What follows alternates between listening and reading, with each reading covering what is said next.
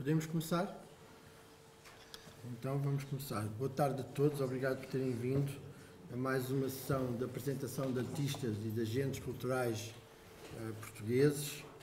É muito importante este ciclo de artes visuais que nós temos estado a fazer aqui há uns anos esta parte. Uh, o esforço é no sentido de expor uh, vocês, especialmente os alunos do curso de artes visuais, mas não só, toda a gente, é, sessões são abertas que venham conhecer os intervenientes uh, justamente daquilo que nós andamos a fazer nas aulas, daquilo que estamos a preparar com vocês, o vosso trabalho. E uh, queria agradecer muito ao Eduardo Matos, que é um grande artista, ainda muito jovem, mas com, já com um percurso extraordinário uh, que ele tem realizado e vocês vão gostar imenso do que ele tem para vos dizer e para vos mostrar. Um, e falar do Eduardo é fácil porque, de alguma forma, eu Conheço o Eduardo já há algum tempo, tenho acompanhado o percurso dele. Um, o Eduardo é uma figura também singular dentro do nosso contexto artístico português. Ele nasceu no Brasil, no Rio de Janeiro, mais propriamente na cidade do Rio de Janeiro. Uh, fez os seus estudos em Portugal, licenciou-se em pintura na Faculdade de Belas Artes do Porto. Também foi lá que concluiu a sua pós-graduação, mestrado em práticas artísticas contemporâneas e, uh, num sentido mais profissional, ele tem sido um artista, mas também um grande impulsionador de eventos, de atividades uh, que há mais ou menos 15 anos tem vindo a desenvolver. Uh, são, a primeira coisa que eu gostava de chamar a atenção foi para um coletivo que o, o, Eduardo integrou, que nós carinhosamente tratamos pelo Salão Olímpico, que foi um grupo de artistas que, em determinada altura, uh, teve que se fazer à vida e desatou, desculpem o termo, procurar espaços alternativos para mostrar o seu trabalho. Foi, inicialmente, uh, esse trabalho foi desenvolvido, foi desenvolvido na Zona Norte, mais propriamente no Porto, em Braga, em Guimarães, e, possivelmente, expandiu-se por mais sítios. E pronto, eu vou passar a palavra ao Eduardo, só acabando dizendo que é também um artista uh, muito eclético, um, é um artista que divide a sua atividade uh, por áreas tão distintas como o desenho, a pintura, a instalação, a escultura, a videoinstalação, etc.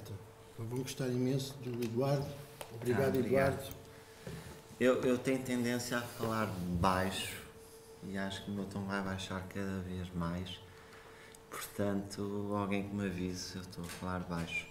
Obrigado à Universidade do Algarve e ao Pedro por, por me trazerem cá. Há anos que não fazia a viagem de comboio e num dia tão bonito como este sou muito bem. Uh, obrigado. E, obrigado nós. Uh, o que eu vim cá fazer, eu já discuti isto com o Pedro, era, eu vou tentar repartir o, meu, o tempo que eu tenho e, e o que eu queria mostrar primeiro nem é tanto o meu trabalho artístico, mas sim isto que o, professor Pedro acabou de falar, dessa assim, cena artística alternativa que se criou no Porto, sensivelmente nos últimos 12 anos, 15, e, e pronto, e que a caracterizou muito a ela e, e sobretudo a mim e aos artistas da minha geração. Portanto, uma primeira parte irei falar disto Irei falar com imagens, mostrando os espaços, tentando falar um bocadinho dos espaços, quem esteve à frente deles, o que é que era aquilo. E pronto, e depois entrarei pronto, no meu trabalho para não vos aborrecer muito. Uh, as notas uh, biográficas que o Pedro deu sobre mim são todas corretas. Eu, eu, no entanto, eu gosto sempre de acrescentar mais uma coisa que é eu, eu realmente venho do Rio de Janeiro, mas cresci no Porto, fiz desde muito cedo e é assim num, numa cultura de, de, de underground punk e hardcore, onde eu dou os meus primeiros passos enquanto adolescente. As minhas primeiras grandes influências são a música, os concertos e e o cinema, a arte é uma coisa que vem mais tarde. Eh, por a qual eu me apaixono. E o Porto onde eu cresci não é este Porto que ambiciona ser cosmopolita, um, igual a todas as outras cidades. Era, assim, era uma cidade particular, realmente diferente. Sei lá, provinciano ou não, mas era uma cidade onde se ia e tinha um contexto muito específico, pequeno, pelo menos aquele onde eu cresci. Hoje as coisas são, são diferentes, como em todo lado. Eu escolhi esta imagem também da cidade, um sítio onde vivi perto, porque caracteriza bem o Porto. Está ali tudo o que é o Porto onde eu cresci, uma cidade velha, abandonada, eh, com um centro completamente eh, progredido para o abandono e, e, esse, e isso ainda hoje não foi contrariado mesmo o prédio novo ao lado dos prédios velhos, como se vê na imagem, está tudo ao abandono. E é neste contexto que eu e, e os meus colegas e amigos uh, habitamos. A juntar a isso temos um contexto político, camarário e institucional extremamente agressivo para com os artistas, não só plásticos, todos. Tipo, bastante agressivo no sentido que fomos apelidados de, de bandalhos tóxicos, subsídio dependentes. É? foi um cunho que há 12 anos o presidente da Câmara do Porto pôs aos artistas e a partir daí é tipo fazer a vossa vida para o outro lado que aqui não tem hipótese. No entanto, a gente ficou lá.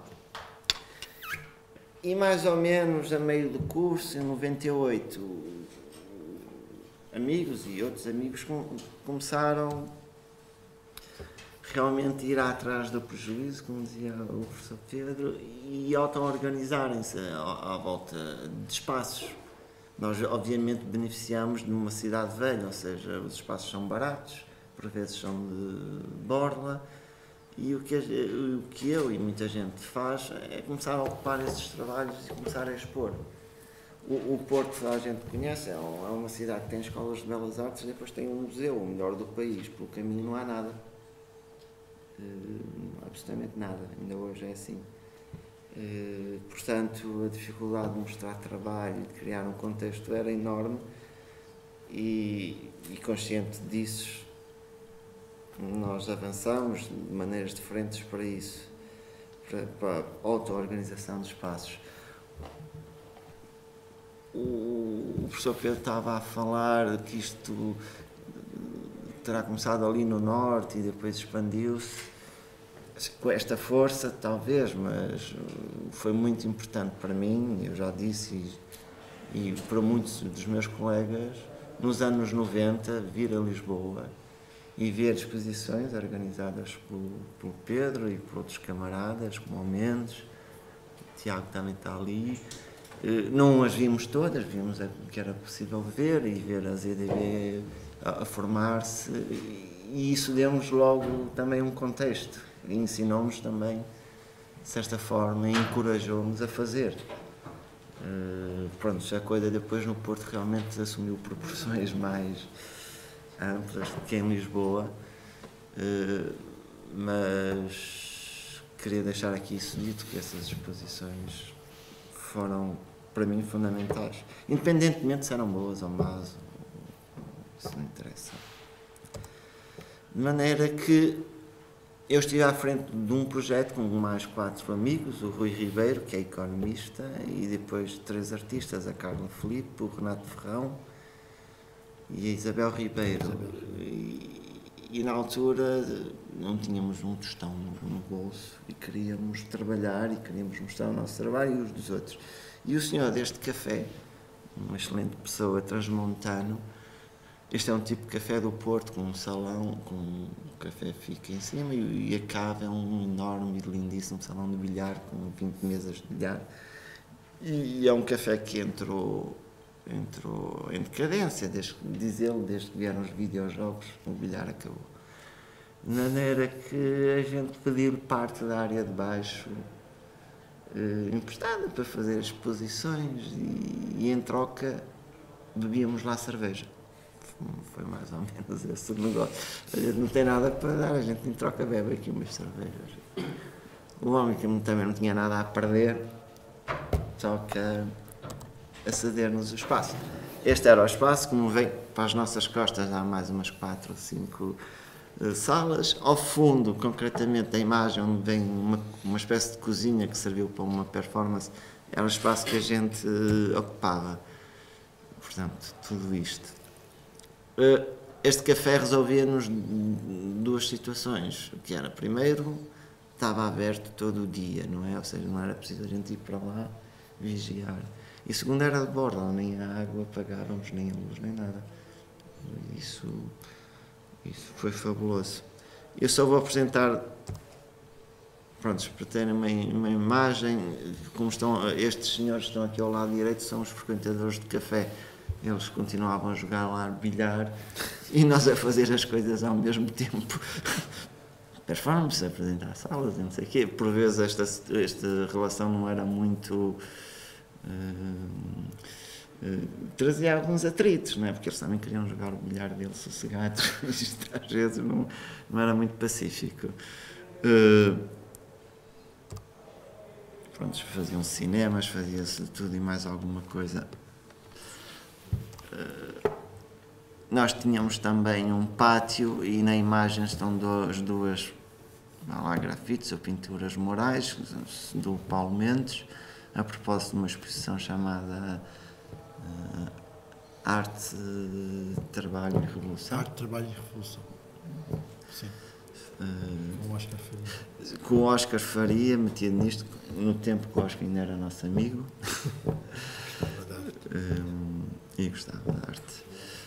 Uh, nesse pátio servia, e aqui temos o Nuno Ramalho, também numa performance eu vou só falar um bocadinho, eu acho sempre injusto mostrar imagens de obras e não falar delas, portanto vou só falar um bocadinho do projeto do Ângelo Souza, que vem.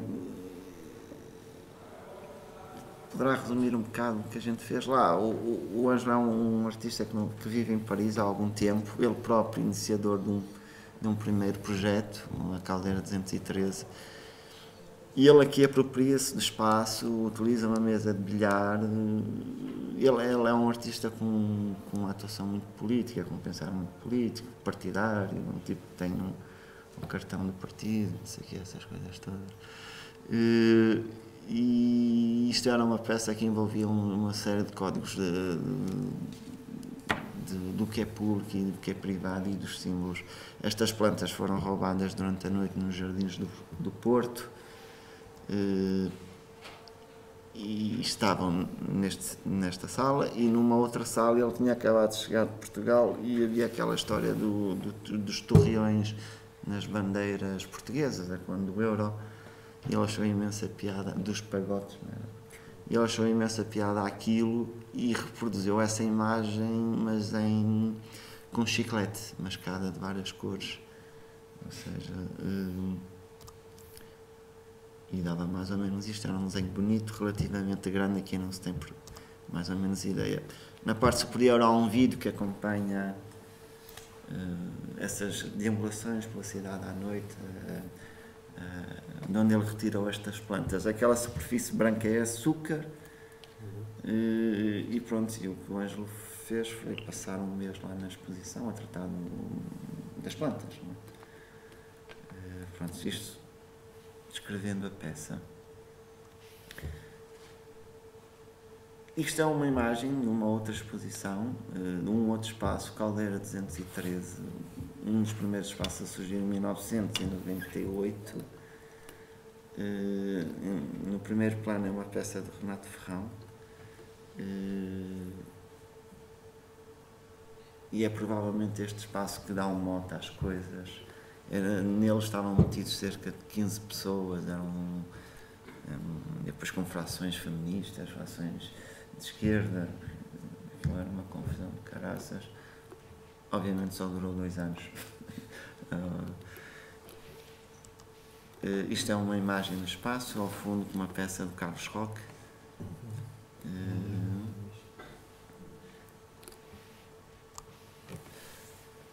um dos espaços mais também vernaculares desta, desta coisa é o espaço WC Container, do Paulo, do artista Paulo Mendes.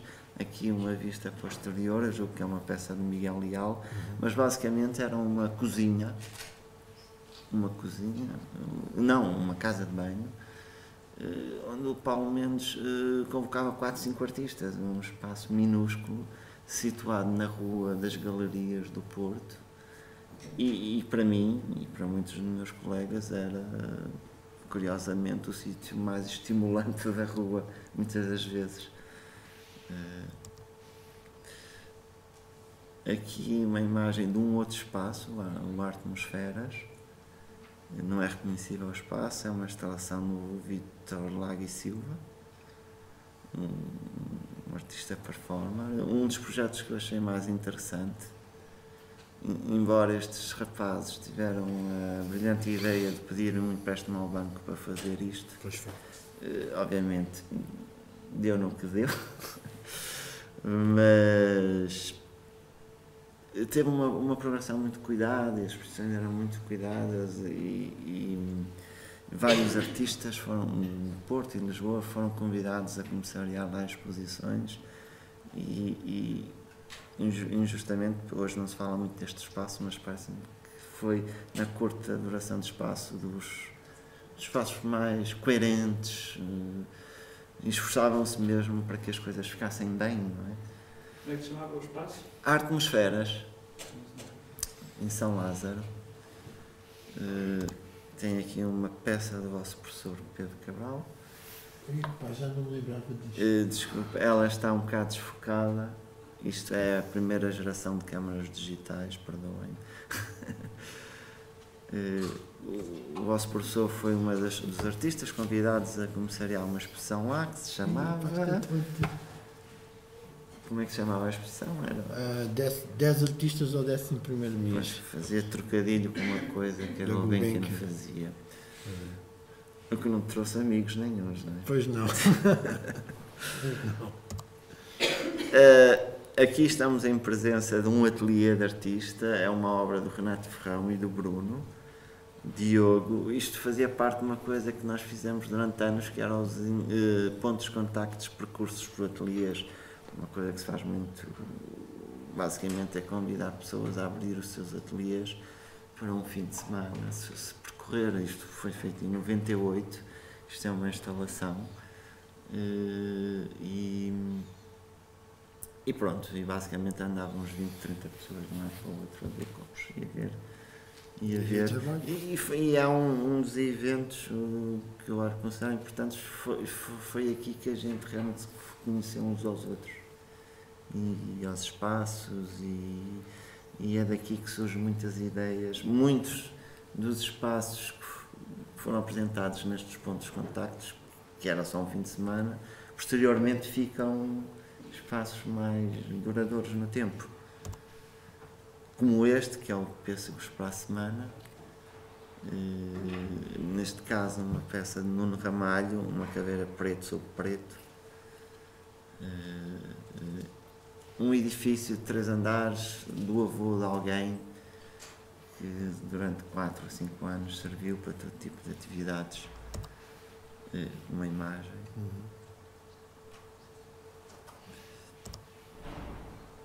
Aqui é o António Lago, um performer, um tipo do, do teatro. Isto é o projeto da Susana Quioca, é, é a sala de estar dele, dela. Ela chama, é, o projeto chama-se A Sala e é literalmente a sala de estar dela, que ela desmonta totalmente para receber única e exclusivamente artes performativas. Está em, julgo que ainda hoje funciona. Aqui vemos o Gustavo Sumta, também na sala. Coisas de rua, este é um artista alemão que viveu no Porto durante muito tempo, o Daniel Churra. O que ele traz na bicicleta é uma ideia de museu ambulante. Ele convidava pessoas para expor ali. E depois fazia passeatas pela cidade. Ele, como é alemão, anda de bicicleta, né? nós não andamos, eles têm hábito e pronto o compromisso dele era levar a arte a um maior número de pessoas.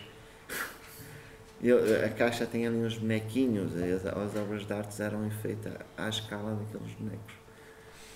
Eh, Era uma das regras. Neste caso, uma exposição da Carla Felipe, acho que era um projeto da Isabel Carvalho, um projeto temporário numa estante numa livraria do Porto. Julgo que isto é um acontecimento chamado Varandas, em que Sim. vários artistas foram convidados a fazer performances a partir da sua janela de casa. Isto, isto, isto acabou com um percurso para estas pessoas que aqui estão, um bocado por todo o centro da cidade. Eh, eh, neste caso está uma pessoa lá em cima a ver o que é que as pessoas faziam.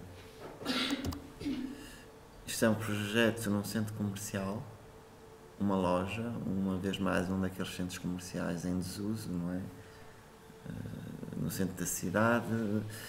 eh, Isto é qual? Este é o... este é o centro comercial de Sudefeita, Exatamente. uma coisa muito Pois. bonita, eh, em que as lojas estão a um preço incrível. Daí, daí- tudo vazio. daí- sim, elas funcionam quase como em losango está, como casulos das abelhas, é uma coisa muito bonita. E, ahm, e a Carla Felipe e a Isabel Ribeiro alugaram uma loja, não sei por quanto, sendo que o artista que expusesse lá tinha que participar na renda e não havia eletricidade, porque elas não fizeram contrato de eletricidade, tinha que se trabalhar com a luz da- do centro comercial. Sendo que esta parte de baixo estava sempre desligada porque não há lojas, tinha que se pedir à segurança para, para ligar luz durante a exposição. Neste sentido, o- uma das peças do Arlindo Silva e da Sónia era justamente pôr um, Petrobras. um Petrobras um bocado a fazer piada com o assunto. Eh, Como podem ver, aqui há muita força de vontade, mas por vezes a precariedade dos meios e da situação era extrema e continua a ser extrema e ainda hoje o é. Eh, Passado estes anos todos. Eh, Há ali sujeirinhas numa instalação, basicamente pôs aquele produto que os empreiteiros põem nos vidros e desenhou umas, umas gigantescas vulvas. Eh, Um sótão, ou seja, já passamos da livraria, da cave, para o prédio, no centro comercial, agora estamos num sótão do, do André Souza um projeto chamado Mad, Mad Men in the acho eu. Um projeto do Renato Ferrão, está aqui o som, tem Isabel Carvalho. Isto é o arrumo da casa dele, é? tem aqueles prédios dos anos 70 que tens hum, o Paulo Mendes, eh, junto a um espaço em Campanhã, um espaço industrial, que é, que é isto, um, um daqueles armazéns que alguém conseguiu, está vago, alguém conhece, não sei o quê. Neste caso está aqui um grupo de artistas a montar uma exposição banda desenhada. Eh, A Carla Felipe, eh, uma performance de queimar livros nesse sítio. Um espaço minúsculo, numa rua, isto tem talvez um metro de largura e dois de comprimento. É um espaço da Isabel Carvalho, que serve. A Isabel Carvalho é uma artista que auto-se pu- publica muito livros, auto-se publica e publica outras coisas, e este espaço é o espaço que ela eh, tem para apresentar esses livros. Eh, era um antigo chaveiro, um antigo faz portanto estás a ver, é mesmo aquele cubículo pequenino, não é? tipo sapateiro, que tem à entrada de um prédio. é? Eh, ainda hoje existe.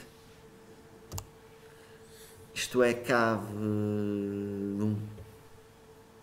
do Miguel Flor, o, o designer de moda, ele a certa altura emprestou a cabo da casa dele para fazer um projeto que se chamava Fundação, que existiu durante dois anos. Eh, Estes, estes projetos são de caráter efêmero e, e, e, portanto, quase tudo que eu mostro aqui já acabou. Eh, Isto é nos maus hábitos, neste caso é o Didi e o Marco Mendes, são dois autores de banda desenhada. Os maus hábitos é um dos espaços que persiste, embora devido à sua atividade com, com música, concertos, é um bar também.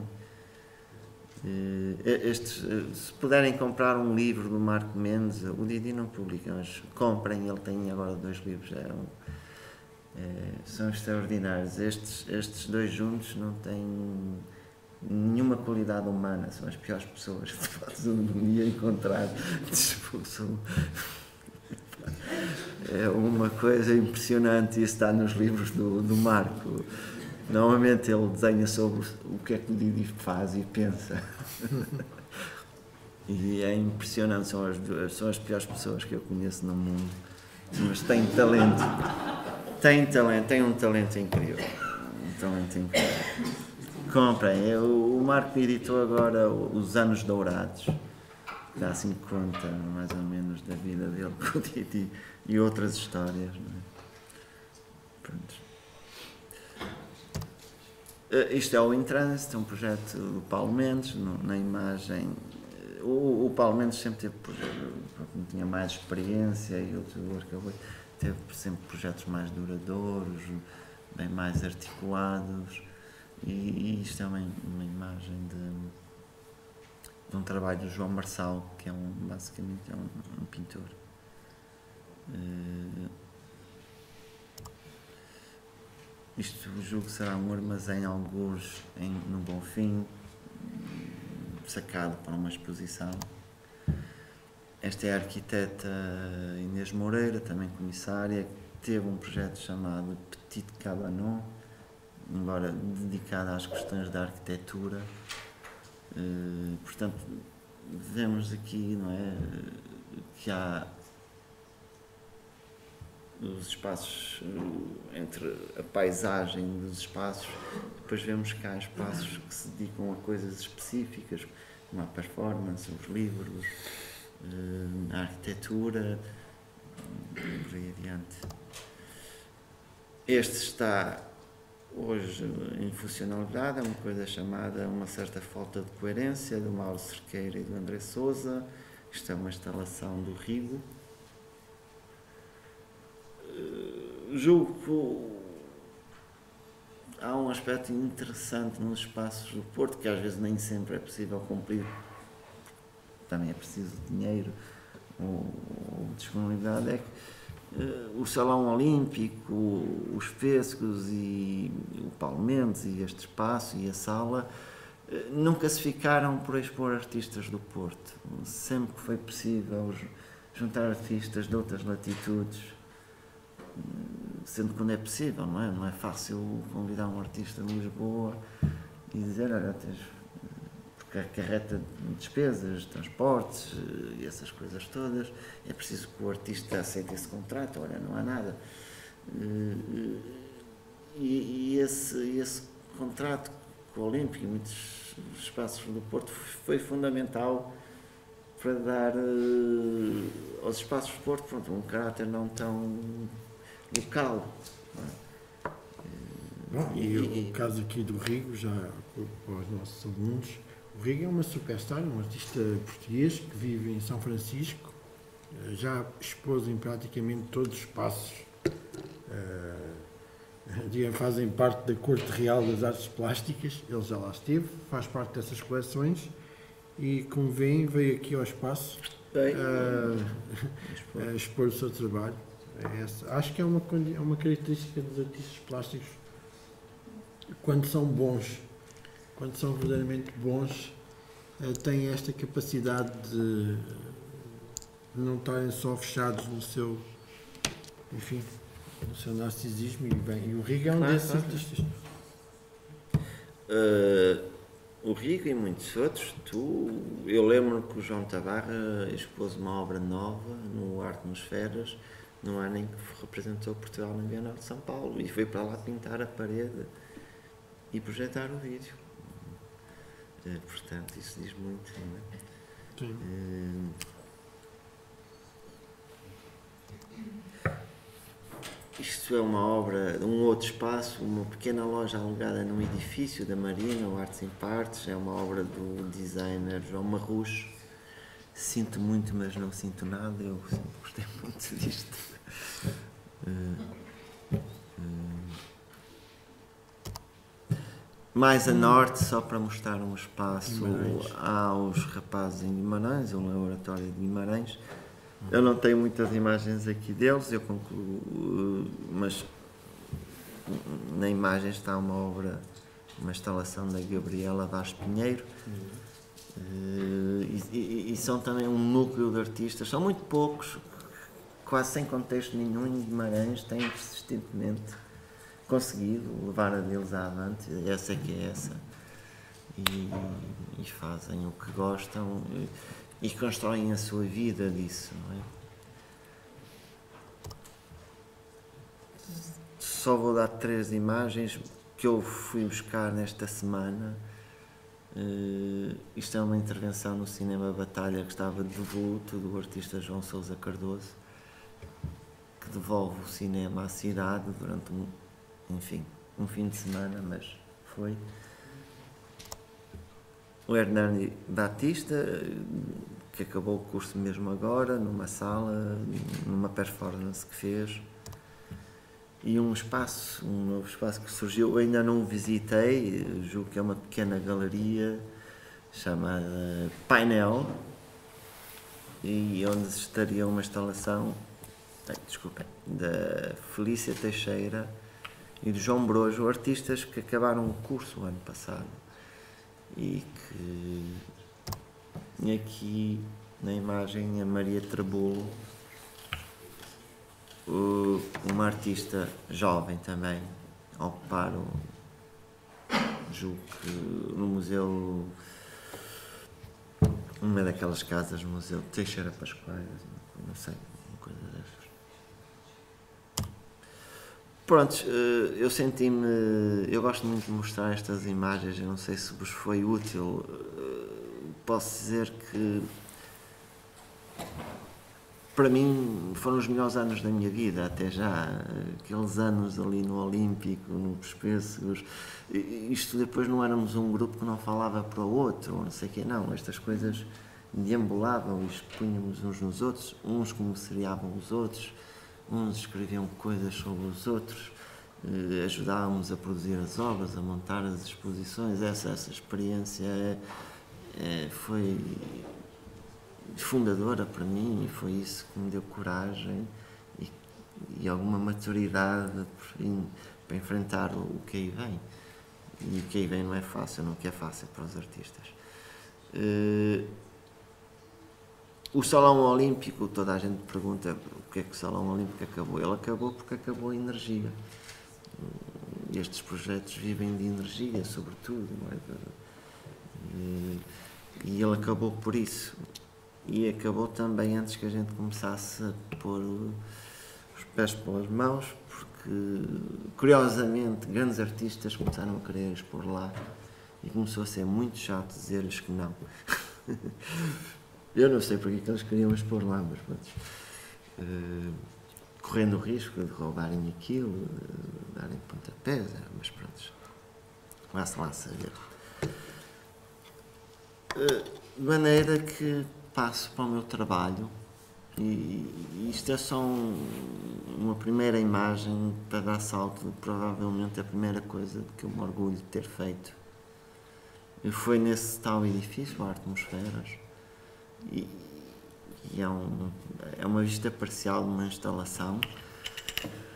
Eh, É uma expressão muito naif da minha parte. Basicamente, eu na altura queria pintar e gostava. E, era- queria ser pintor, e está ali uma pintura e ainda estavam mais duas, que a imagem não mostra. Eh, Mas no fim, ou uma semana de, de ter que expor, é? de, de ter que mostrar isto, a expressão ia abrir, eu pus as pinturas na parede e, tive a impressão que aquilo não valia nada. Eu não fiquei satisfeito, tipo, mas que é isto? Se calhar exagerei muito ingenuamente. De maneira que muito rapidamente comecei a trabalhar com o espaço. olhei para o espaço. O espaço também não era próprio, a pintura, tinha muitas marcas, elas perdiam-se na informação do edifício. E eu assim numa espécie de, de, de vulcão, trouxe tudo que tinha no ateliê, objetos, desenhos, pastas eh, e essas coisas todas. E, textos, aliás, o texto está ali, foi escrito para Carla Felipe, eh, pedi-lhe ajuda para, para lidar com isto tudo e pronto, e fiz uma coisa. Uh, fiz uma coisa que ainda hoje não sei lidar com, uh, mas é uma coisa que gosto de olhar sempre, tentando descobrir se há ali alguma coisa. E, e o que eu descobri com este trabalho foi isso, o espaço, trabalhar com o espaço e trabalhar com objetos, contextos uh, provenientes de várias uh, coisas vindas de várias zonas. E, e nesse sentido, pouco a pouco, a minha tarefa, lá, como homem, como artista, foi descobrir então a minha forma de trabalhar. Eu, eu estava muito centrado num trabalho de ateliê, muito centrado no estirador, a desenhar e a pintar, e as coisas não andavam para a frente. Eu não consegui, não, não, não consegui e senti que na, na altura ou parava com aquilo tudo e dedicava-me a outras coisas ou, enfim, tentava procurar qualquer coisa e o que eu tenho feito, que ainda não acabou, que eu ainda não compreendo bem, mas. Quer dizer, compreender, compreendo.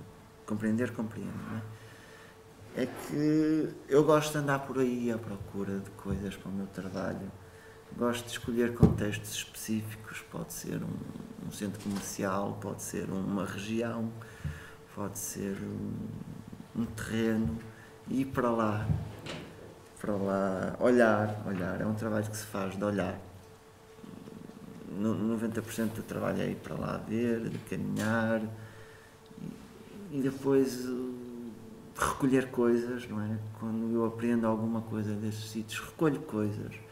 Coisas que podem ser uh, de vídeo, de fotografia, podem ser apontamentos, são ideias que vêm na cabeça e no segundo momento trabalho isso tudo no ateliê. Ou seja, também não consegui abandonar o ateliê. Eh, ou seja, mas é uma relação mais equilibrada para mim. Eu não sei se isto vale alguma coisa, eh, mas para mim vale tudo. Esta relação que eu consegui equilibrar durante os anos. E isto para dizer que, pronto, eu gosto de chamar de trabalho de campo.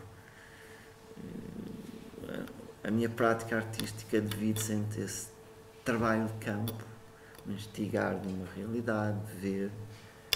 Nada, eu não, nunca vou com uma grelha, tipo, olha, vê isto ou faz aquilo. Não, como os, os sociólogos fariam, os antropólogos, não, eu vou livre ver o que se passa. De maneira que o que vos vou apresentar aqui é uma série de quatro projetos que eu fiz eh, no âmbito deste processo, que é o que eu enfim, tem-me dado mais prazer a fazer, não sei se são os melhores, porque apesar de tudo, quem teve a oportunidade de ver o que eu tenho feito, o processo, o trabalho de ateliê nunca cessou, é? também é possível ver o desenho, a escultura no, no trabalho.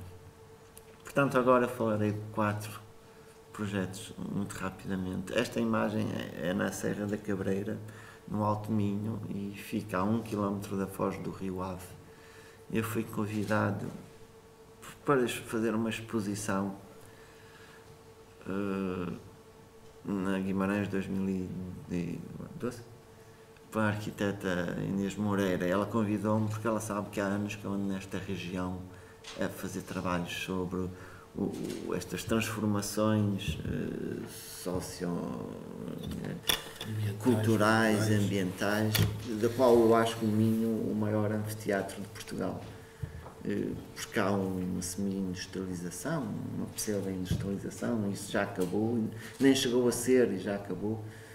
Uh, e, e, obviamente por questões de afeto, eu sou, os meus avós são dali. E o que eu fiz foi, o que eu propus à arquiteta, se querem, foi, pronto, vamos avançar. O que eu me propus a mim a fazer foi percorrer o rio do, da sua nascente Até à foz. à Foz. Hum, Como vem a certa altura há estes contextos industriais que se encaixam no rio, é uma paisagem industrial muito bonita porque é muito orgânica. Uh, Eu não sei se é a palavra correta, mas como todo aquele terreno é muito sinuoso, é muito escarpado, eh, isto é a norte do, do famoso Val do Ave, é? onde as coisas é uma confusão. Mas esta norte ali as fábricas encaixam-se na paisagem, estão ali escondidas, adaptam-se ao relevo eh, de uma forma intuitiva, não foi nenhum arquiteto que fez isto, foi, foram gerações de. Eh, de maneira que eu vim por ali abaixo, fazendo o trabalho que faço. O rio não parece, mas passa entre estas pedras, não é? É, é quase um riacho. Aliás, ele aqui não é bem rio porque ele é desviado por causa da, da, da, da fábrica, não é? Ele é desviado para uma, uma mina que é hídrica e depois já retoma o curso natural à frente. O que surgiu desse trabalho é isto que vocês estão a ver, isto é uma expressão Estive lá na Guimarães. Eh, É uma exposição coletiva, um imenso hangar e o que vocês podem ver é uma imensa plataforma. Tem seis, tem. Eu não sei, eu julgo que isto tinha 12 metros por 6. E o que eu convoco para este sítio, não é? Vocês podem ver que está ali uma projeção de vídeo, está essa plataforma com objetos e ali à direita há uma projeção de slides o que eu faço e pronto, eu gosto eu gosto de pensar as minhas instalações como um, um- lá, uma peça, um texto que é composto por diferentes fragmentos que constroem um todo. Isso obviamente não facilita a- o visitante. É muito, por vezes é difícil descodificar aquelas coisas e associarem essas coisas. Eh, Bem, mas, eh, é, é- mas é nessa associação de diferentes médias, projeção versus vídeo versus objetos, que eu tenho tentado apurar a minha linguagem, tentado instalação após instalação, eh, dominar melhor esses contextos. eh, E esses contextos jogam-se também com o espaço, com o que é objeto, com as diferentes linguagens. É, é um jogo difícil de equilibrar, e- mas eu assumo todos os riscos, tenho vindo a assumir todos os riscos que isso tem. Eh, o maior risco é sempre as pessoas dizerem, ah, não percebi nada daquilo. mas pronto. Eh, contra isso também eh, eu não tenho solução, mas mas é, é nisto que eu estou, estou interessado em, em investigar cada vez mais. Eh, De maneira que esta peça aqui vem, reúne desse trabalho de campos dif- diferentes elementos. A projeção de vídeo é, por exemplo, um mapeamento do rio, uma câmara subaquática, eu vou da Foz, vou da, eh, da nascente à Foz, filmando o rio por baixo d'água, só, só, só procurando a tonalidade da água. E como aquilo passa por uma zona industrial, a água muda muito de cor, chega a ser preta. Há uma parte do vídeo que não há imagem, porque a água é preta e sem luz não há, não há vídeo. Eh, Depois há elementos escultóricos, há um slideshow que dá conta de uma situação muito específica desta fábrica que vos montei, mostrei. E toda aquela plataforma é lá, forrada com massa hum, das máquinas do óleo, a massa Resistente. consistente, são cerca de 300 kg de massa consistente, o que confere um cheiro às coisas, um cheiro muito próprio da região, um toque, e, e para meu agrado conferiu uma cor dourada que eu não estava à espera, que era que me surpreendeu. Eu não tive, como devem imaginar, hipótese, maneira de experimentar isto antes. Uma camada de 5 centímetros, rugosa, peganhosa, com cheiro, pronto, e tudo isso era convocado para a peça. Este é um, este é um elemento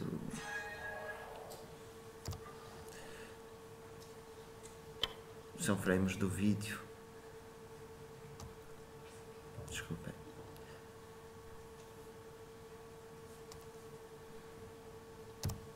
Até à foz do, do rio. Isto são imagens de documentação, não são imagens, por exemplo.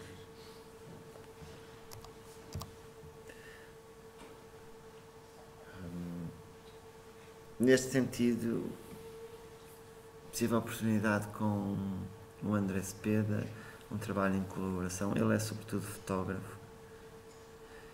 E, e nós tivemos a oportunidade de fazer uma residência na Bélgica. E, e, e Bruxelas, em Bruxelas propriamente. E Bruxelas é atravessado por um canal industrial, toda uma estrutura construída pelo homem. E nós propusemos a fazer um trabalho de campo sobre isso.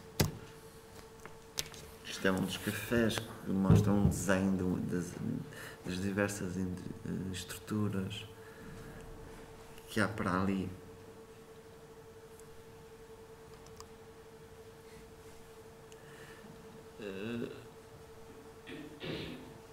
Uma das dúvidas que eu tenho é, é dizer, ir para Bruxelas trabalhar, eh, ter três ou seis meses e propor-se fazer um trabalho de campo, ou seja, aprender, tentar apreender uma realidade que é muito complexa, que tem séculos, em constante transformação. É complicado, eh, de maneira que eu nos meus trabalhos tento um bocado também não ser muito pretencioso nesse sentido, não é possível não é possível apreender isso tudo em seis meses de trabalho. Eh, de maneira que aqui sempre em tudo que eu faço também, quer dizer, nos pratos da balança há que procurar aqui um equilíbrio até onde eh, até onde se consegue ir. Eu tenho, eu tenho um medo terrível de falar sobre coisas de qual não sei. Eh, possam estar no meu trabalho e que depois seja confrontado, mas olha que isso não é assim. Eh, não posso, não quero cometer esse erro. Como vem uma parte mais. Este é o André, uma parte mais aprazível do canal. Eh, de maneira que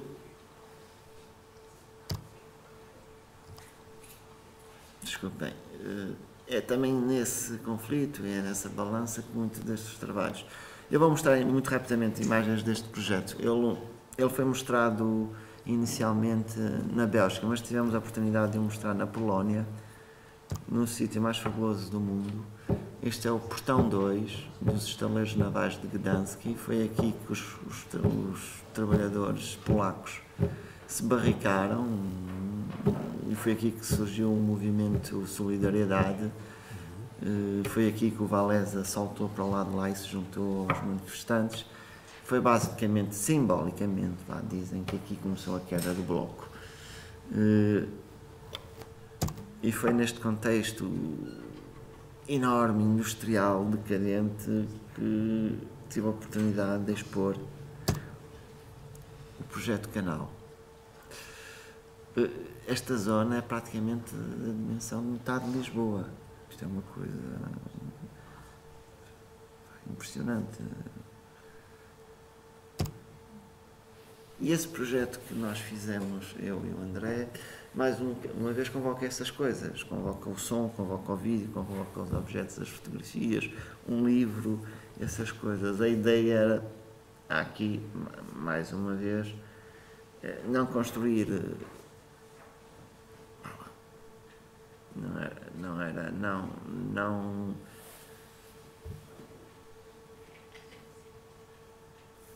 Não demonstrar uma realidade que talvez tivéssemos aprendida, mas livremente fazer uma série de associações mais ou menos poéticas, mais ou menos humorísticas no que tínhamos aprendido no canal. E o que a gente tinha aprendido no canal é que, curiosamente, aquilo divide a cidade. É uma, uma espécie de fronteira invisível, é um sítio de de um lado vivem os burgueses e do lado, do lado vivem os imigrantes. Eh, ao ponto que as rendas caem em 500 euros, basta atravessar a rua para lá de lá, porque os belgas não querem viver lá de lá, obviamente. E toda a exposição foi um bocado organizada em termos dessa fronteira, de, de estas longas mesas com fotografias e objetos, e, e, o que se via no livro, e o que se ouvia no som, e o que se via em algumas fotografias foram as entrevistas e as conversas que nós tivemos com essa malta junto ao canal. Junto ao canal sobre esse assunto sobre a vida.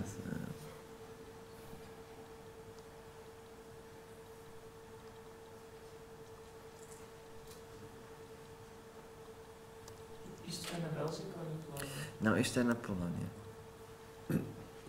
O trabalho é que é sobre o canal belga. Não me pergunto, a comissária achou interessante expor um contexto industrial num outro país, noutro, noutro país coisas de missão.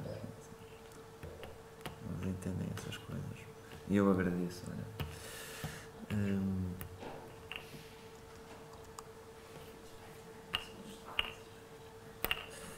isto é uma imagem em Sacavém, do mar junto à foz do rio Trancão, que desagua a norte de Lisboa o rio que já recebeu o título de pior rio, o rio mais poluído da Europa. Uh, isto é um projeto que eu realizei em Lisboa, na ZDB, durante dois anos. Sem calma, sem pressas. Uh, não é um trabalho que se faz todos os dias, nem todas as semanas, nem todos os meses. É um trabalho que se vai fazendo. Uh, e eu fui parar a este sítio porque quando sempre vinha de Porto para Lisboa, de caminhoneta, que é mais barato, começou bem lá em cima. Quando chega, imediatamente antes de chegar a Lisboa, ali o viaduto, vê-se Sacavém, e quem olhar para o seu lado direito vê um imenso vale, muito tenebroso. Eu sempre achei que é muito tenebroso, muito escuro, não sei o quê. E de maneira quando fui fazer uma residência para a ZDB, disse ao Nato, seu chefe, que queria trabalhar sobre aquele vale. E e o que eu fiz foi andar para ali, conhecer coisas, andar a pé, conhecer. Depois fiquei a saber eh, que ali também tinha havido um contexto industrial fantástico, da qual a fábrica de Loiça de Sacadém é a fábrica mais, mais famosa, os movimentos anarcas, anarco-sindicalistas, sindicalistas, comunistas tiveram ali grande furor desde os anos 20, 30 por adiante. A repressão também teve ali grande expressão. E a transformação das paisagens, onde está esta árvore, era uma fábrica, eh, transformada em jardim urbano. Essas coisas interessam. De maneira que a exposição que eu construí à volta disto eh, é um misto de coisas eh, que se, que se apreendem, são, por vezes são somente ressonâncias de uma experiência da, com a paisagem. Eh, por vezes é uma investigação de um arquivo que se encontra lá, por vezes é uma ideia transformada em vídeo e, e é este a abertura que eu gosto de trazer para os meus objetos. Algo que tem uma porcentagem de investigação real sobre as coisas que me interessam, obviamente, sobre a sua história, sobre o contexto social, eh, mas também tem esta intuição e deixa espaço para estes campos abertos para, para coisas de caráter abstrato. E neste sentido, este objeto surge aqui foi uma coisa que que apareceu na exposição, praticamente há cinco dias da exposição, era um objeto que sempre esteve lá, num caminho que eu percorri 200 vezes e que à última hora resolvi trazer para a exposição. E, e trouxe-o para a exposição justamente por não saber nada dele, não é? Por ele ter esta forma intrigante, e ali um pequeno desenho, quase clássico, e, e dar uma, um pequeno volume, uma sombra à exposição, uma coisa bastante interessante. E eu resolvi trazer esse objeto nesse contexto, e era ele que abria a exposição. Algo que eu não conheço começa a exposição. Eu falava dessa tal ressonância, é? o espaço. Eu depois fiquei a perceber porque é que a noite começava mais cedo naquele vale Realmente lá, ali anoitece antes, tipo, se em Lisboa anoitece às 6, às, às 5 lá já é noite. Aquilo é porque geograficamente aquilo está paralelo à costa do mar e em Carpa tapa o sol e o vale há uma sombra que se apodera, uma imensa sombra que se apodera do vale e daí a noite chegar lá mais cedo. É um, e é dessa, dessa, dessas observações misteriosas que aconteciam ao fim do dia que surgiu esta peça. Basicamente era um, uma projeção de slides de um azul de uma casa que lá estava abandonada em que uma das salas estava pintada de azul e eu tirei um único slide e produzi este galho e projetei o slide contra o galho o galho produz uma sombra na própria imagem.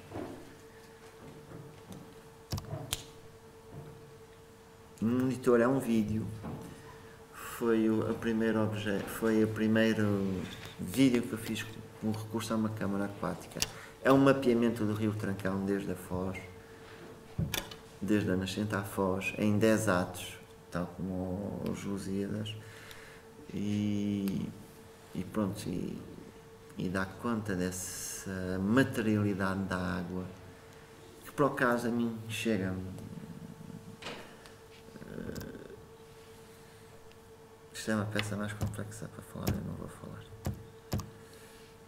Uh, só para acabar este projeto, o vídeo estava do vosso lado esquerdo, do vosso lado direito tem um conjunto de fotografias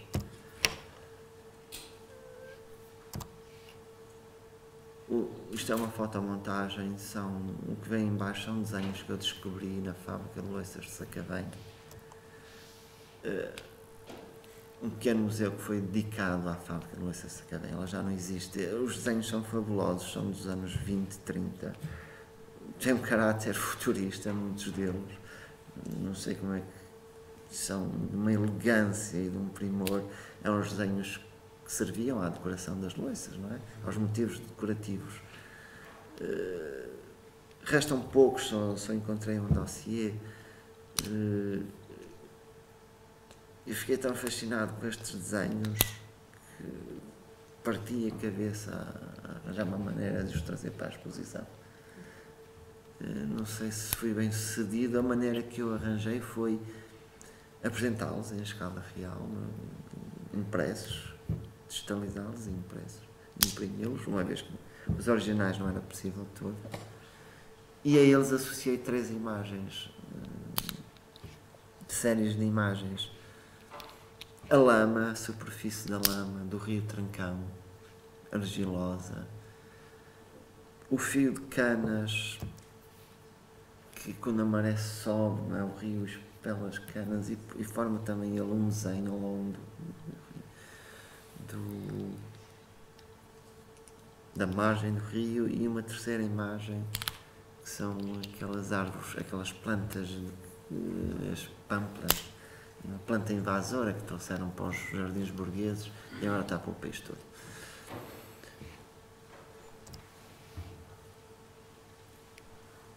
Portanto, só para recapitular, eh, no contexto desta expedição que se chamava O Caçador de Borboletas, são convocados de uma mesma experiência, de uma mesma investigação, em momentos de, uh, diferentes e que, e que, comunicam de forma diferente. na, na imagem estava um- uma videoprojeção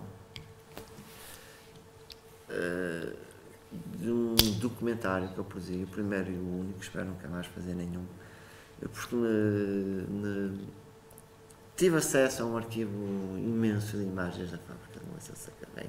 São 110 anos de imagens que eu quando mostraram aquilo, eu, eu vi lá a história da fábrica, mas também vi lá a história eh, da indústria em Portugal e vi lá a história política eh, de Portugal nos últimos 100 anos. Eh, E o, e o, e o documentário que faz, que eu fiz, tem três coisas. São essas imagens que eu mostro cronologicamente, são os depoimentos dos trabalhadores, tive, encontrei um livro dos trabalhadores dos anos 40, eh, 30, 40 e 50, depoimentos dos trabalhadores, das condições de trabalho, das condições políticas e sociais que tinham, e associei isto às paisagens que agora lá se encontram, é? Estes, as urbanizações novas, aquela árvore que viram, ou seja, as, as, as paisagens industriais transformadas em subúrbios. Não é? Eh, Isto é uma das imagens mais antigas que eu tinha, eram as trabalhadoras no, numa colónia de férias, não é? Antes as fábricas mandavam os trabalhadores para, para uma colónia de férias. Eles foram muito simpáticos comigo. O, o- museu da, antiga fábrica de Louça Sacavém abriu as portas todas, deu-me tudo o que queria. Tudo. Assim. Eh, Este projeto era extenso, reparem, são dois anos de trabalho. E só para mostrar esta última peça, este trabalho de tanto andar a filmar o Rio Trancão no, com uma câmara debaixo d'água, eu descobri, e de andar lá enterrado de galochas, descobri que aquela lama hum, podre, preta, eh, tinha qualidades escultóricas. E, e um dia trouxe um pedaço para casa, pousei lá e passado uma semana aquilo estava pedra. Ou seja, aquilo deve ter uma porcentagem de argila que permite aquilo secar e ficar duro. E quando eu descobri essas propriedades, mais uma vez pôs-se o problema. E agora, o que fazer com isto? O que fazer com isto? Estava a salivar, tipo, o coração a tremer. Tenho aqui uma coisa. Eu não consegui fazer grande coisa com aquilo. O que eu peguei foi reproduzir com aquela lama de uma maneira mais ou menos tosca o maior número de objetos que tinha no ateliê e, e as coisas que andam comigo na, na mochila, como a garrafa d'água. De maneira o que está ali foi é a minha câmara fotográfica, a câmara de vídeo, a, ficha tripla, o disco rígido, as cassetes mini DVs, as lentes. hum, e pronto, era basicamente olhar para o lado e reproduzir uma coisa. hum, parecer uma coisa. Enfim. Mais simples fazer.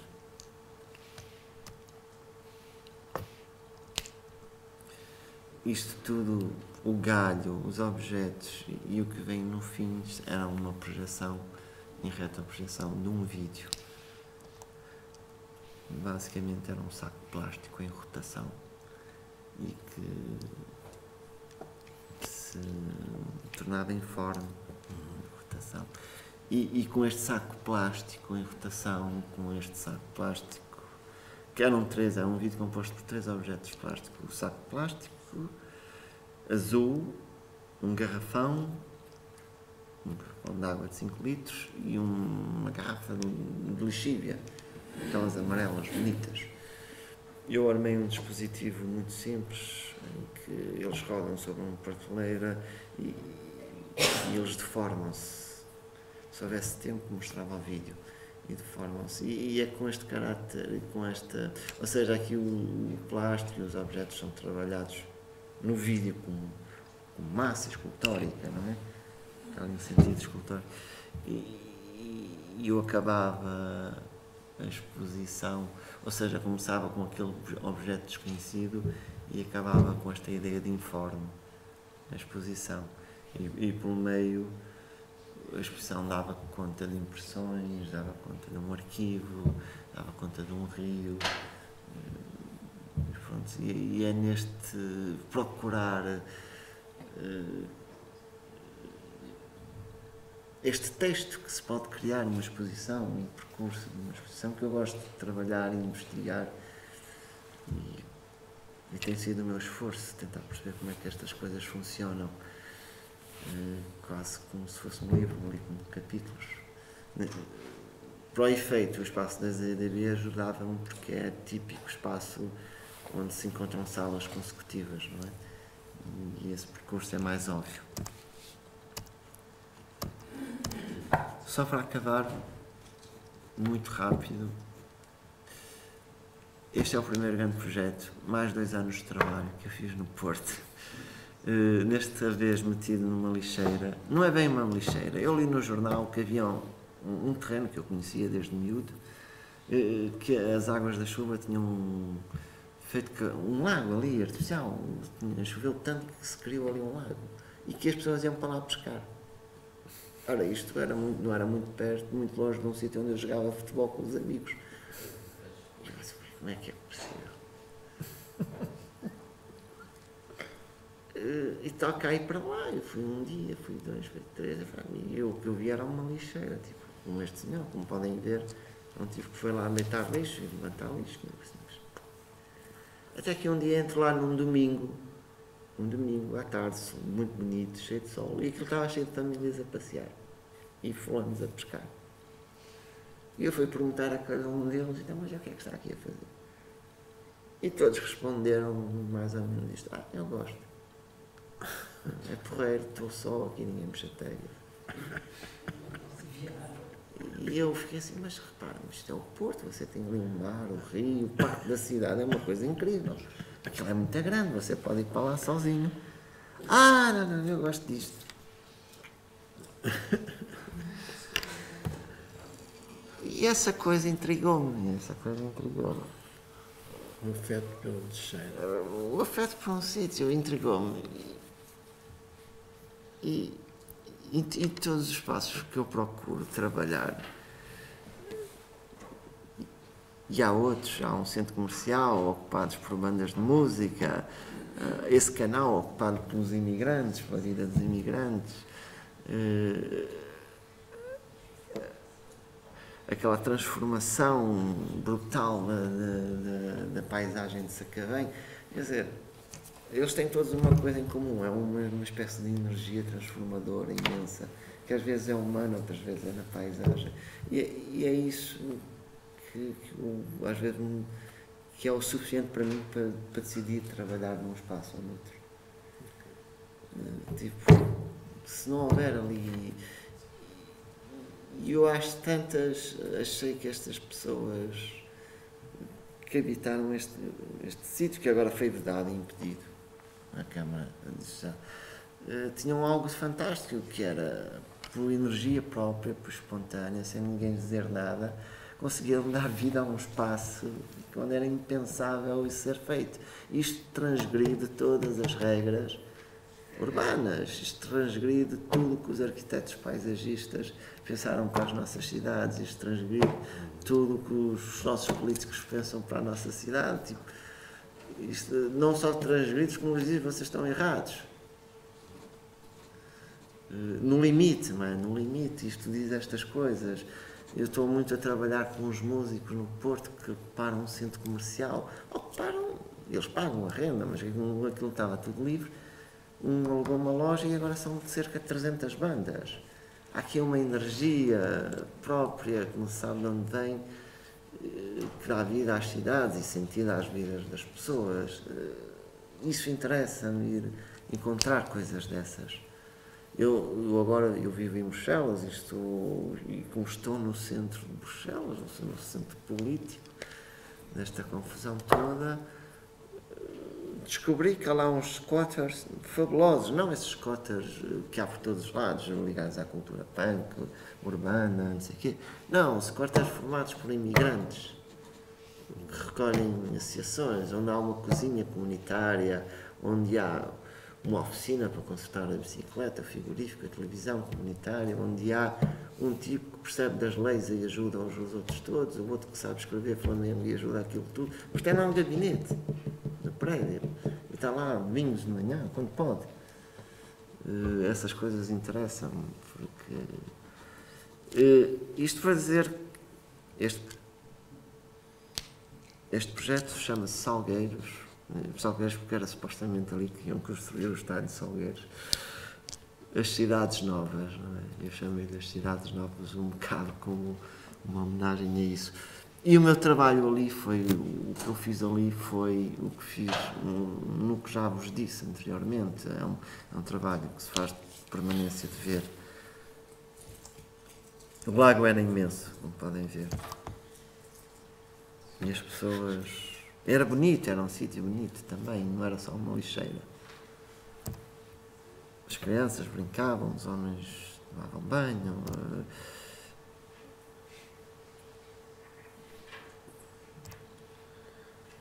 As pessoas iam para lá passar tempo, elas e eu.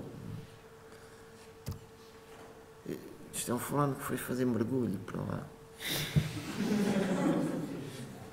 Todo equipado a rigor, fez, fez mergulho. Eh, mas também era um jardim lindíssimo, este campinho, não é? Sabe, o, o norte é abundante em água e as fontes nunca secam no verão, ao contrário do centro e do sul. O- A vegetação é abundante e generosa e, e parte deste grande terreno também era um jardim lindíssimo, natural, com as plantas naturais do norte.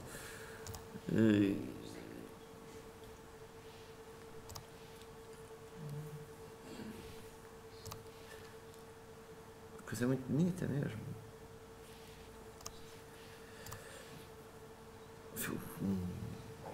Aqueles campos de trevos com os malmequeres lindíssimos que se criam no, em maio, não é? aqueles malmequeres brancos e amarelos, coisa lindíssima. Mas também tinha disto, não é? Sonhos ardidos, frigoríficos abandonados, um muro.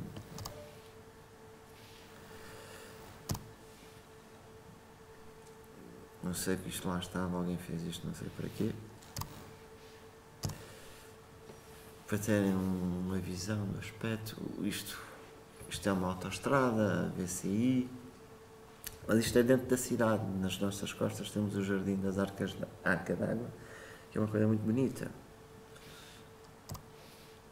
Ora bem, esta eu já tive a oportunidade de expor este trabalho várias vezes. Esta não é a vez que eu mais gostei, que era demasiado formal, mas foi feita para uma exposição no pavilhão, no pavilhão de Portugal, em Coimbra.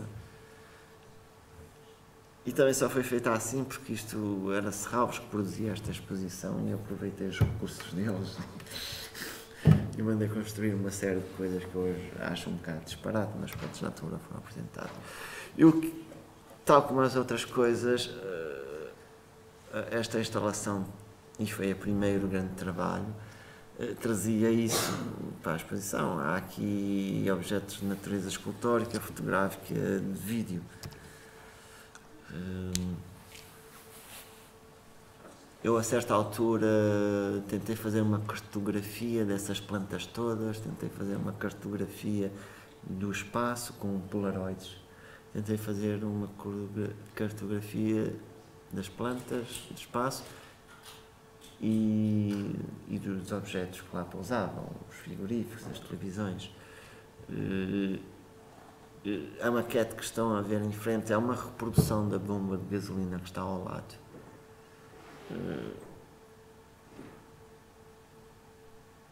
E eu, eu só fiz isto porque todos os dias, quando regressava à casa de um trabalho de campo, sentia a necessidade de fazer algo com as mãos. E, e, e toca a reproduzir o espaço, mais ou menos contigo, com madeira, não é? Tipo, isso é tudo feito em MDF. Em MDF era a tal necessidade que eu falava no início de, de- da prática de ateliê. Eh, Eu nunca abandono isso.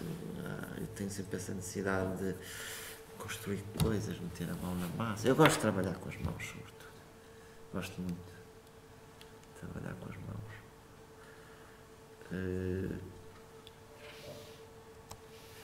Do lado esquerdo há toda uma estante com essas tais polaroides que davam conta desses objetos, que faziam associações formais, como veem eh, as três imagens de cima são uma vegetação verde específica que lá havia associado a três objetos. Pronto, isto depois são, são quase como diários que,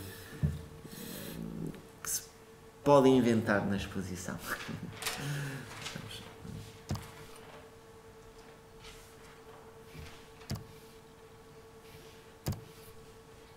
Neste caso, a, associação daquela estrutura que já vimos como planta.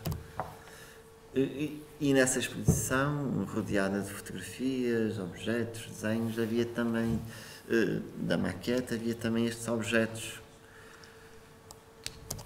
Ora bem, como eu vos disse, aquilo era uma lixeira, um sítio onde as pessoas deitam muita coisa fora e é um sítio onde também um, iam respigadores, não é? Aproveitar. De maneira que eu, com o tempo, comecei a respigar também. E, e desse eh, desse respiganço. Mas eu, se assim eu posso dizer. só dizer uma coisa uh, sobre isso. A Agnes Vardan, quando fez esse filme Respigadores, ela uma das coisas que disse foi que testou dois espaços, um espaço abandonado e, e cheio de lixo e um espaço aprazível, um jardim público. E de facto ele reparou que a maior parte das pessoas procuravam espaço uh, com lixo. Uh, Para respigar. E não só, e também para praticar, por exemplo, para fazer piqueniques. É estranho, quer dizer, de alguma forma o que ela estava a dizer é que parecia que havia um impulso qualquer, estranho, que levava as pessoas a ir para um sítio ao invés de ir para o outro, seria o mais natural, ir para um espaço uh, com relva, uh, parado, não é? procuravam outro sítio, aparentemente até mais perigoso. Sim, mas não para fazer um piquenique, em princípio, não é? para fazer mergulho. Não, ela estava a dizer, a propósito desse filme que ela fez, ela reparou que as pessoas, por razões eh, várias, não era só deitar lixo nem, nem andar a apanhar objetos. Gostavam desses sítios. Sim, sim, sim. Portanto, aquilo, de alguma forma, foi o que tu também verificaste. Sim, sim, a maior parte daquelas pessoas que frequentavam a, a, a dita lixeira não iam lá, não iam respigar nada, iam até fazer lazer, atividades ligadas ao lazer. namorar. Sim, pescar. É interessante. Uh, pronto, de maneira que esta peça acabava com uma série de pequenas coisas que lá encontrei. Uh, vocês têm noção que por vezes encontra-se a, vida de pessoas inteiras em caixotes, não é? Uhum. E isso também foi uma tentação que eu vi muito disso. E foi uma tentação enorme, porque só isso, isso só por si também é um trabalho imenso, estar a pegar nisso e é outra coisa. E foi uma das coisas, uma das coisas a, que, ao qual eu sou confrontado quando ando nestas andanças, é, é resistir a uma série de coisas muito apetecíveis. Uh, claro que, enfim, por vezes devo perder com isso, mas também julgo que ganho.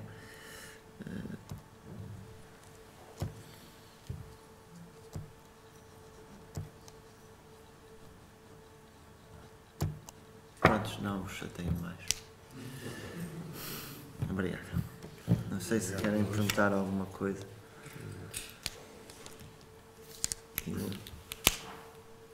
Agora já percebi de onde é que vem a lâmina do tracão. Vem do tracão. Uh... E não tem aí umas fotografias mais aproximadas dos objetos feitos com essa lâmina? Assim. Se eu tenho? Sim, sim. Ou só tem aquela? Não deve ter. São. São castanhos, porosos, incrivelmente resistentes. Eu deixei cair um outro dia e nem uma lasca. Uma garrafa. Uh, secam ao ar, podes, podes ir lá buscar, não precisas de cozer. uh, são quase, dá quase para fazer o mesmo que se faz com a argila que se compra. Não dá, não é tão pura, não é? E a argila até é mais frágil, não é? Porque a argila se cair, ela parte. Pois, pois, é, é incrível. Aquilo deve ter cimento, deve ter assim. Já vai misturar os. os Aquilo tem ali qualquer coisa, porque mesmo há, eu sei que mais a norte fazia-se, havia uma indústria da telha, quando havia telhas, porque ali o, o Tejo tinha, o são argiloso, mas a argila tem que se cozer, aqueles, aqueles não, eu realmente não preciso cozer aquilo. Material já está. Este, É muito mal cheiroso quando se trabalha, tem que se habituar a- à merda, que é assim que se diz, literalmente. Eh, desculpem a palavra, eh, mas Eh, Eduardo, eu, eu a, eh, única peça que eu conheço tua, não sei se era parte de uma daquelas instalações, o esteve em Lagos, não era? Que era aquela maquete, da, chama de maquete, aquele da, desta, da bomba de gasolina e algumas fotografias que estavam lá. Eh, Eu quando vi aquela peça em Lagos, eh, nunca a percebi bem, eh, nem. não. Ou- quase como um, bloqueio, que é não, não, não ter eh, código, não ter os. eh, não ter. não ter os códigos da, da peça. É como se. eh, Estou a, estou a, a ler, aliás, para usar as tuas palavras, estou a ler um texto, mas que eu não, não como não domino eh, aquela, aquele alfabeto, não, não, não conheço aquela gramática daquela linguagem, não, não, não, não percebo nada. Eh, hoje tive uma, uma, uma relação eh, eh, diferente porque tu estavas aqui a contar, cont- contaste todo o teu processo, a tua atitude, que eu acho que é uma coisa muito importante, que é a tua, a, a tua relação com o mundo, a, a maneira como tu descreves o mundo, é extremamente importante para perceber eh, eh, as tuas peças. Eh, a minha grande dúvida é. eh, eu penso que isto resulta muito bem, o teu, o teu discurso poético resulta muito bem nesta relação da- das imagens e, com, com o que tu dizes sobre as imagens, sobre a, tua maneira de estar no mundo, eh, e, e funciona e, e- e constitui uma, uma unidade eh, interessante. Portanto, esta relação das palavras e do teu estar e da tua maneira de estar te- te- tem noção que também é importante, o tom de voz, eh, tudo isso eh, forma um corpo poético que acho extremamente interessante. A minha grande dúvida é, é, é esse tipo que gostava de pôr, é se tu não sentes eh, que quando, quando apresentas esse tal trabalho de campo numa exposição, se não sentes que eh, 80%, digamos assim, tentando, fi- ficou de fora na exposição. Eh,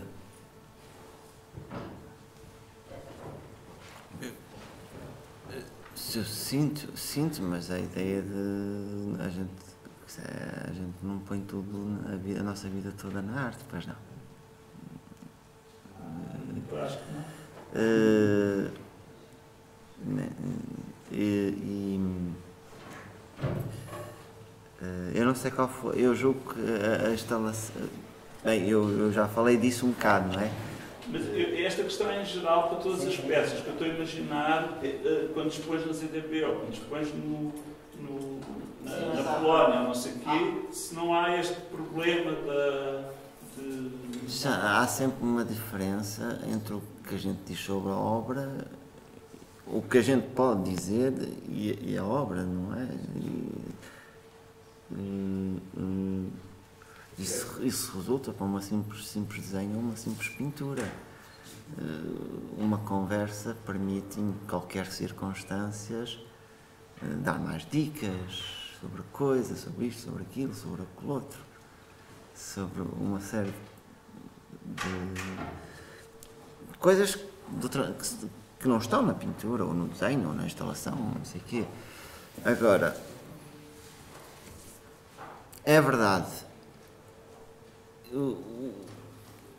A questão para mim não é que as instalações que façam não tenham, eh, deixam de fora, foi disseste, deixam de fora coisas, coisas, não é? Sejam elas como forem.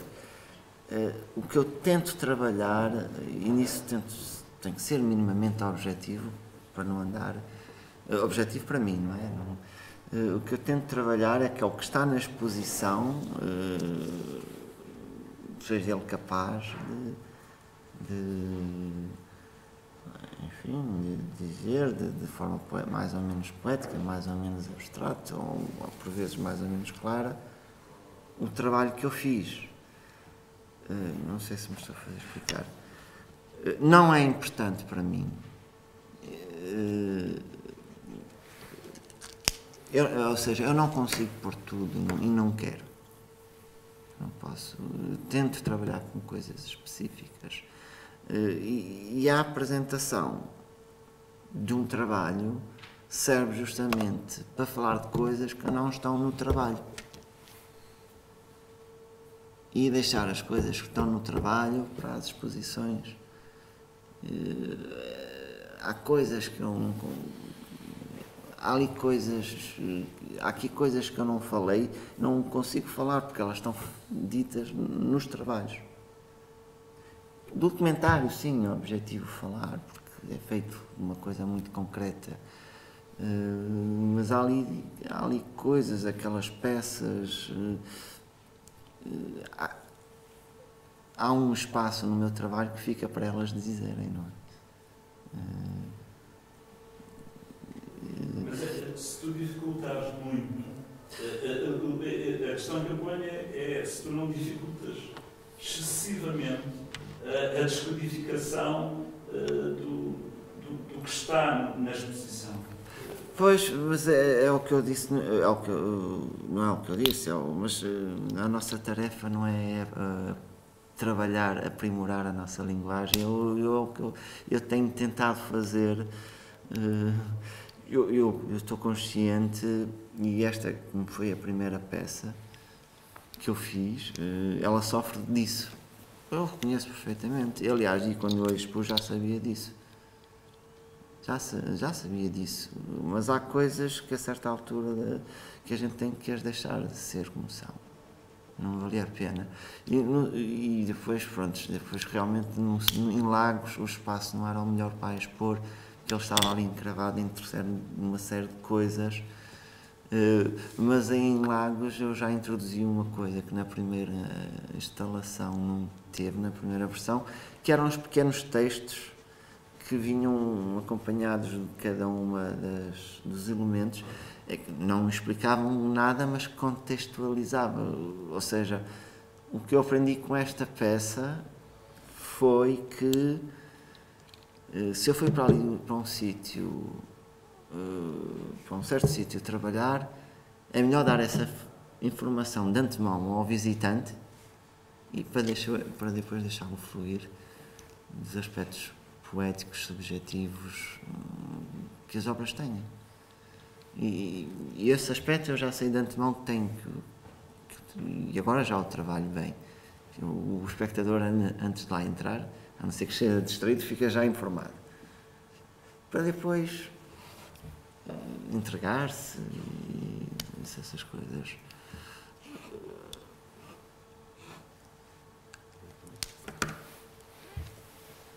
Pois. Não sei se respondi ao que perguntaste.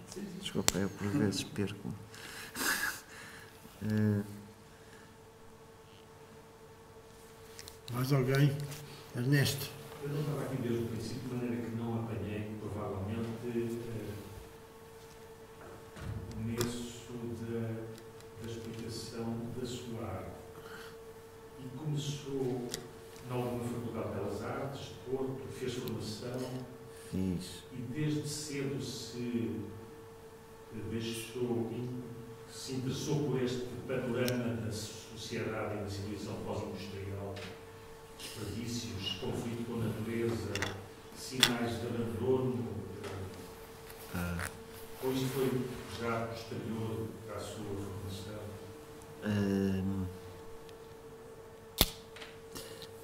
eu estudei pintura 5 anos e estudei e fiz um curso que nem era a moda antiga, nem é como é agora, era assim uma coisa que ninguém percebia. Fruto do tempo. Eh, e, e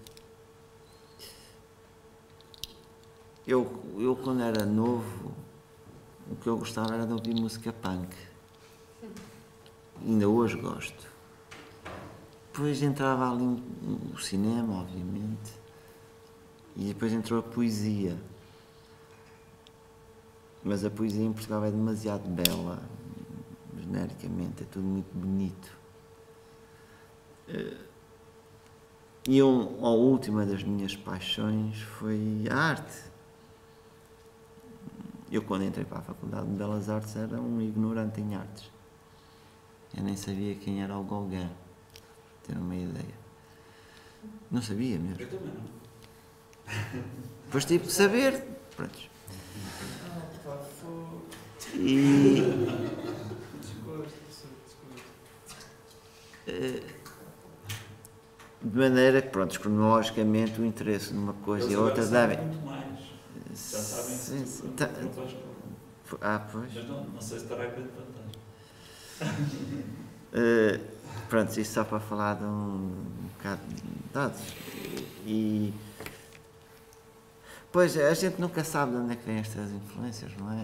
Eu, eu, eu comecei justamente a falar eh, nesta apresentação numa, numa cidade em ruínas, que é a cidade do Porto, onde eu cresci. eh, apesar de eu só ver coisas bonitas no Porto. Mas pronto. eh, Não sei se. Mas, mas, eh, mas, mas repara, aquele lago não é uma ruína. Aquilo. Eu já trabalhei sobre as ruínas de uma casa, realmente. Mas julgo que nenhum destes projetos havia ali assim, essa coisa. Mesmo no, no projeto de Sacavém, eh, aparece ali umas ruínas, alguns no, no, no documentário, porque são imagens documentários. O que, eu- mas o que eu fui atrás foi das novas paisagens, dos, dos bonitos condomínios, das palmeiras, dos, dos jardins verdes, que ninguém vai para lá, não é? Eh, Mas já não é a primeira vez que as pessoas pensam que eu trabalho sobre a ruína, mas acho que não. Não será entre da ruína, mas do conflito entre ruína, natureza, ruína não, despojos, ausências de uma civilização que deixa sinais. Sim, deixa sim, marcas, sim, é? sim, sim, sim. Essas marcas têm valor estético, eh, precisamente porque são rastros de alguma coisa que já aconteceu e isso faz-nos funcionar. Portanto, tem toda uma carga, tem essa energia, não é? Sim, sim, sim, sim, sim, sim. em ruptura com sinais da natureza e desse diálogo e conflito nascem essas coisas que realmente são, são criativas, são criadoras. Aliás, essa, essa parte do, do Rio Ave é uma coisa que normalmente se foge disso, ou seja, o Rio Ave está obstruído por fábricas e fabricantes que deixaram por lá os seus despojos, não é?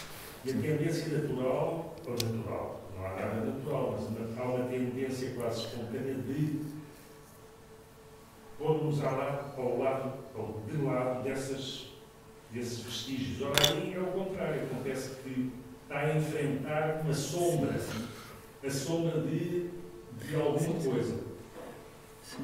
Sabe que o Norte de Portugal tem sido, desde o meu início de carreira, alvo de, de muito trabalho. Eu já tenho umas sete ou oito peças feitas a partir desse contexto.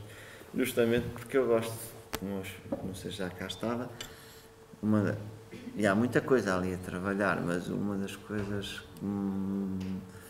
que, me- que, eu gosto de observar, que eu acho que há no Minho mais que outros sítios em Portugal é que ali essas transformações eh, e, esse- e essas relações entre homem, civilização e natureza acontecem de forma. acontecem por todo lado, aquilo é um campo fértil. Não é só um exemplo, aquilo está por todo lado. Não é à toa que o Minho é o pedaço de terra mais desurbanizado de Portugal, não é? Mais selvático nesse sentido. E sei lá, não é à toa, claro que se encontra desde a casa do Cisa de Vieira à, à, à casa do imigrante ou à casa de matriz popular, não é? aquelas coisas às vezes estão ali todas umas lado a lado, à berma da estrada. Eh, pronto, eu gosto, não sei o que. eh, descodificar isso, o que é que significa, as implicações disso, sociais, políticas, arti transforma- artísticas, tem, sido também uma parte do meu trabalho. Gosto de dedicar o meu tempo a ir lá, a ver essas coisas.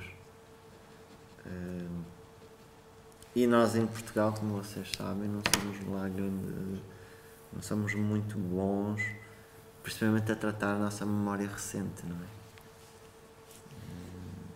Em muitos aspectos, não é? Não somos muito bons a. Mas achas que o teu trabalho eh, pode ser um contributo para, para, Não, mas eu tenho. Não, olha, isso, isso, é, bo... nesse sentido? isso é boa percurso, é uma boa pergunta. Eu acho, eu tenho uma ambição secreta. Que, repara, a história de um sítio é dada por muita coisa. Por testemunhos das pessoas, por o que lá ficou construído, pelos livros que se escreveram, é, por essas coisas todas. Eu tenho a ambição secreta de um dia, sei lá, um dos meus trabalhos, sei lá, de vídeo que mostra uma paisagem, possa servir eh, num pequeno documento para a história. Eu quero que ela seja uma obra de arte, essa. Mas se servir também de documento, qual é a obra de arte que não é? Que esteja no Louvre, não é? Que não é testemunho de, do seu tempo, da- das ideias do seu tempo, Mas o teu método não é muito científico, portanto não vai ajudar muito os sociólogos. Ora bem, mas isto não vai lá só com ciência. Todos sabemos, não é? É preciso. Isso já está aprovado também. É preciso olhares subjetivos para construir. eh, O meu olhar não é objetivo, é subjetivo. Mas. eh, Tu agora acabaste por resolver aqui uma questão Não é? que eu tinha perguntar, que é que grau de autonomia é que as partes do teu trabalho têm? Porque o há bocado falou de uma coisa que eu também acho, de alguma forma, que é isto. eh, todo este teu trabalho, fantástico, eh, assente no, no- no percurso no espaço, durante um tempo, a investigação sobre o espaço, uma exploração, tal, que vais juntando uma quantidade de informação, uma quantidade de coisas e depois transformas isso de uma forma artística e produz várias peças, mas faz o sentido de uma exposição completa, não é? Às tantas, há, eh, eu lembro do primeiro Eu- eu foi- no Nimas, foi no Nimas, Sim, aquela- sim, aquelas as- as garrafas. a agora Eram só a garrafas aí. Pronto. Não, tinhas lá umas cassetes também. Ah, sim, sim, tinha, tinha, tinha. e quer dizer, ia-te perguntar, mas agora está respondida a resposta, não é? Aquilo acaba por servir de, algum, de alguma forma como flash ou como, ou como informações dispersas do percurso que foi feito, quer dizer, uma exposição maior. Porque ia perguntar acerca de como é que tu olhas essa autonomia das, daquilo que tu vais criando dentro da tua exposição toda, tu disseste que tem um percurso, etc. Como é que tu sentes essa autonomia das peças depois serem retiradas daquele contexto todo e serem Não, mas o que estava no Nimas é uma segunda peça que eu fiz de propósito para o Nimas. Não são os objetos que estavam na Ah, ZDB. tá bem, tá bem, tá E, e, e não seguiam a lógica da, bem. Dos objetos especiais. O- por exemplo, no- essa, essa peça eram suposto- feitas sobretudo de garrafas de cerveja de litro. Reproduzia garrafas de cervejas de litro com aquilo. E, não, e depois tinha a câmara, e a câmara, mas tinha só as cassetes à parte, porque a exposição chamava-se VHS Home System, Video VHS Home System. Home System. Pronto. E, e, e eu fiquei por ali. Não, mas uma vez uma amiga disse-me que eu conseguia, eu era, era um artista que conseguia nas exposições coletivas fazer uma exposição, dentro das exposições coletivas fazer uma exposição individual. E eu acho que ela, eu, eu cada vez acho, infelizmente, isso se calhar é verdade. Eh, Eu, já- eu estou sempre a pensar, eu sou como todos nós, né, somos convidados para exposições coletivas e as exposições coletivas são fáceis de fazer. A gente faz uma peça ou dá uma peça que já tem e põe lá, porque é o que toda a gente faz, faz uma peça. E eu complico sempre a minha situação. Vou sempre com tudo, com o vídeo, com, com o slide, porque estive num sítio e vai tudo atrás de mim, objetos, projeção, tenho que construir não sei o quê. Isto aconteceu nesta exposição coletiva que vocês viram da plataforma, aconteceu com o Paulo Mendes, eh, aconteceu nessa coletiva do ano, eu podia ir só com uma peça, como toda a gente foi. Eh, Era mais claro, era mais. Eh, Julgo eu, mais claro, às vezes para a exposição, não era tão confuso. Eu não resisto. Não sei, eu não consigo. Isso tem a ver com a Eu tua linguagem. Eduardo. Isso tem a ver com a tua linguagem, com a forma como tu convocas eh, os vários elementos, como é que tu juntas, os médios que aqui e ali tu vais, tu necessitas para que a coisa funcione, porque tu não, tá, não fazes parte eh, de um grupo de artistas muito trabalham como tu, que não, não, não, o entendimento não passa tanto por um fragmento, nem por, não, mas por esse, por esse puzzle que tu vais juntando, acho que, é mais, acho que isso não tem mal nenhum. Não, não tem mal nenhum. Eu, eu só estava a dizer. eh, Só me Não, dificulta. Eu não sei se não, não há, eh, há uma, uma contradição até no, no, no- no discurso do, do Eduardo, que é ele preocupa-se muito com o mundo e, e está encantado com o mundo, pelo que eu percebi hoje, pelo discurso verbal, mas depois, quando, quando, quando esse mundo passa por ele e, portanto, se volta a sair eh, na, na forma da- das obras que ele, que ele nos traz, nos mostra, eh, foi de tal maneira filtrado por ele que, que aquelas obras, eh, de facto, não pertencem a este mundo. Eh, isto é um elogio? É um. eh, é- Traz-nos, de facto, um, é um elogio no sentido de- de- da criação. E, e talvez, nesse aspecto, elas, numa exposição coletiva, elas eh, marcam uma diferença tal que, que não, que não se conseguem integrar no, eh, aí se calhar tu também não eh, eh, se calhar não, não te agrada isso, tu até gostavas de comunicar com as outras peças, não é? Mas, mas elas são tão específicas, são tão. Têm, elas criam tanto um mundo que, que, que têm dificuldade em dialogar com as outras peças que estão na, na exposição, ou, ou se calhar com o mundo. Pois. Mas onde é que está a contradição? que é a tua paixão pelo mundo, ah, ah, acho que há uma contradição que tu tens uma paixão pelo mundo, mas depois crias um mundo ah, tão separado do, do, do, do, do mundo pelo qual tu estás apaixonado que, que há, uma, há uma. Não há uma destruição do mundo, porque é um mundo à parte. Isto é, uma, é a minha leitura. Mas É, é contradição porque quem está apaixonado entrega-se ao objeto amado e funde-se com ele.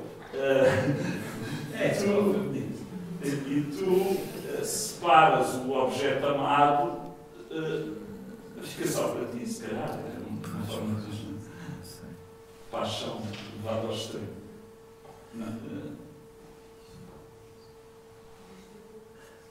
Eu pertenço a uma geração do Porto em que esse joie de vivre não existe.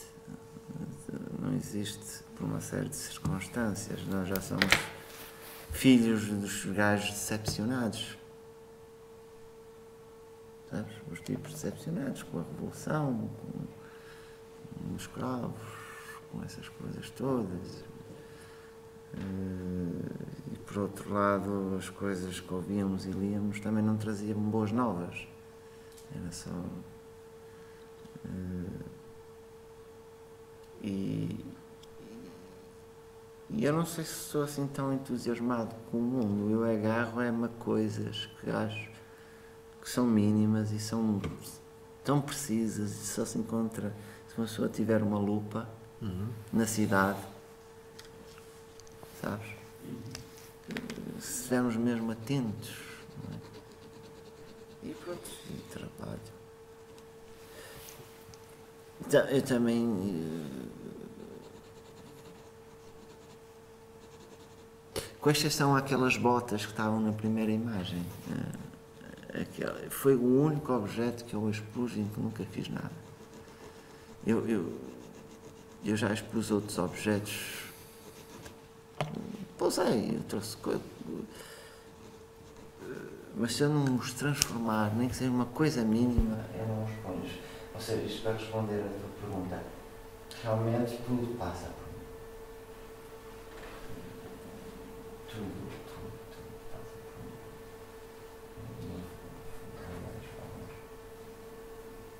Era disso que estávamos a falar, não é? Com certeza. Desculpa, eu às vezes posso interpretar mal. Eh,